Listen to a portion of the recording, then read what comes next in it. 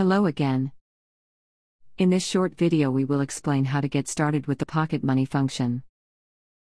There are a few things that you need to go through to get the Pocket Money function working as optimal as possible in your family.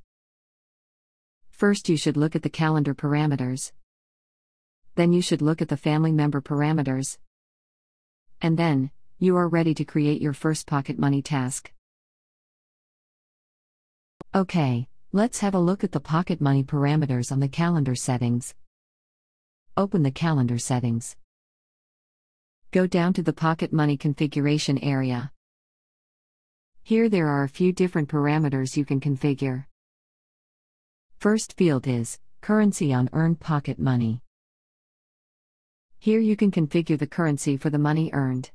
You can also use the currency called points if you want your children to earn points instead of money. Second field Create Pocket Money Tasks. When this parameter is true, then all family members can create new pocket money tasks. You can also configure this individually on each family member.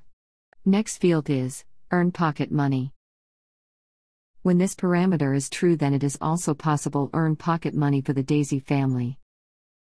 Next field is Create Standard Pocket Money Tasks. Here you can create a number of standard pocket money tasks, that makes it much quicker to create a new pocket money task in your family. It is standard tasks that you can choose from when you create a new pocket money task. You can edit both the text and value before finally creating the pocket money task.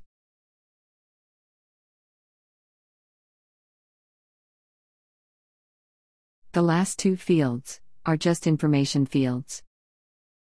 The Earned Pocket Money field shows how much money the family has earned when your Daysi family also can earn pocket money.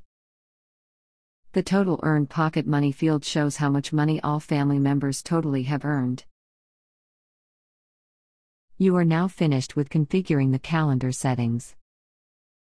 Next step is to have a quick look at family member settings and then you are ready to create your first pocket money task.